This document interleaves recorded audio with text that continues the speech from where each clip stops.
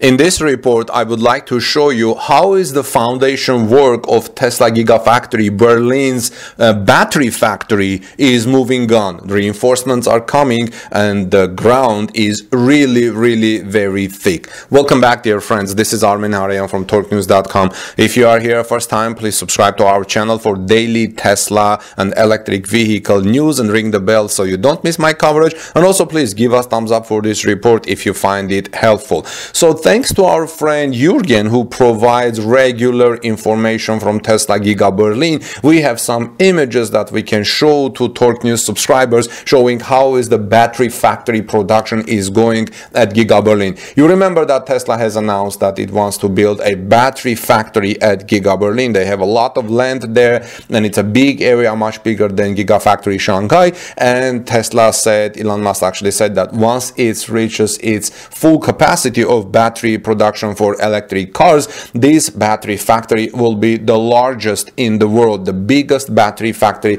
in the world for electric vehicles, thus meeting probably most of Tesla's needs. But Tesla has said that it still wants to continue its work and partnership with Panasonic, uh, Samsung, and LG Chem and SK Innovation. So now uh, Jürgen, who tweets at G GF for Tesla, says today at the construction site, you see these images, friends. He says while the foundation work on the battery factory is still going on, more and more reinforced concrete pillars are rising into the sky. So you can see the foundation work at the battery factory at Giga Berlin. You do you see how how thick it is. I remember when they just started building it. I remember again it was very big and we thought what they're building, why are they doing this? But apparently the battery factories need really strong foundation.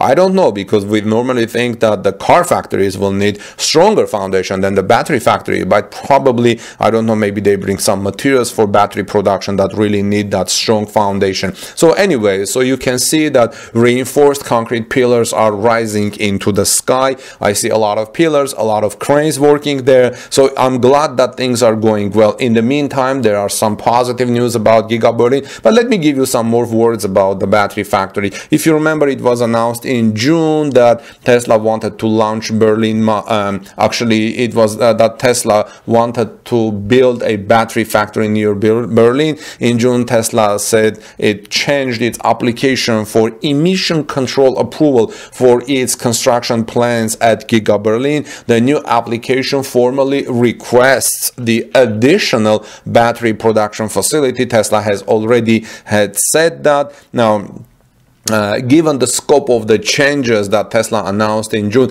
the state of Brandenburg's Ministry of Agriculture, Environment and Climate uh, must decide in the next uh, time what will involve in these changes and they have put this for public discussion and after the public discuss they're going to be um, uh, looking on the final permit that will come. Now what is interesting that if you remember several days ago I reported that surprisingly uh, very few objections uh, were filed against Tesla during this time. During the first time when Tesla's plans were put forward for public discussion, there were like 373 objections. This time, uh, just a couple of days ago, I reported at Torque News that there were only 44 objections, but we were expecting the number to rise. But I did not expect the number to rise to 200 objections.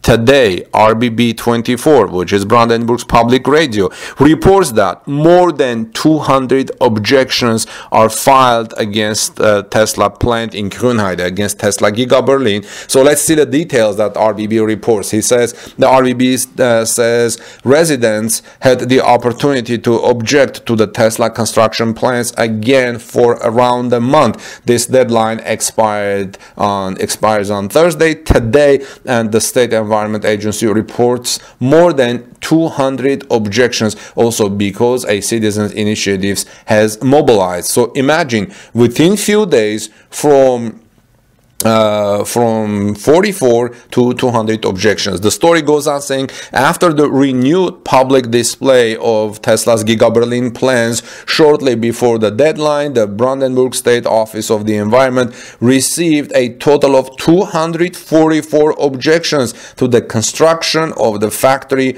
of the US electric car manufacturer Tesla in Grünheide. 244 objections. This was announced by a spokesman for the RBB early on Thursday evening. This number has skyrocketed within a week, like I said. Seven days ago, the office reported 44 objections. The objection period ends at midnight. But if you watched my morning report, I said that after NABU and Green League dropped their case of the higher constitutional court against Tesla Giga Berlin, they will bring it to the objection area. And I'm not kind of, uh, partly I am uh, surprised how uh, the objections against Tesla Giga Berlin jumped from uh, 44 to 244. But now part of me also says, look, NABU and Green League, they dropped their case against Tesla and they will normally, naturally bring their objections to the public discussions. So it may be some of them or maybe last minute a lot of objections came. So uh, but it says uh, RBB says the objections mostly come from the direct factory environment. Let's see what this means. Uh, it says as the LFU also announced, most of the objections came from Grünheide or Erkner, the immediate vicinity of the Tesla Giga Berlin construction site. It is also noticeable that 100 of the objections were based on templates from the Grünheide Citizens Initiative. BI had distributed these to residents in large number. Now, similar objections were made apparently before. RBB says, according to the State Environment Agency, issues similar to those in the two previous proceedings were objected to. So some of the objections that were brought against Tesla Giga Berlin are similar to the ones in the past. On the one hand, some would have a problem with the water supply because the plant is being built in the middle of a drinking water protection area. On the other hand, it is about emission control. There are fears of considerable noise pollution or deteriorated air quality from the plant aspects surrounding the newly planned battery factory are new, it said. Essentially, it is feared that the drinking water will be contaminated if an incident occurs there. So already this is the third display, friends. It is the third time that Tesla has publicly displayed its construction plans because the project has been changed again. For example, to expand a battery factory, which I just mentioned, and you, you saw how the construction of the battery factory is going on with preliminary approvals. Now, in the last interpretation, the State Environment Agency reported far few objections. Now you can see the objections have jumped.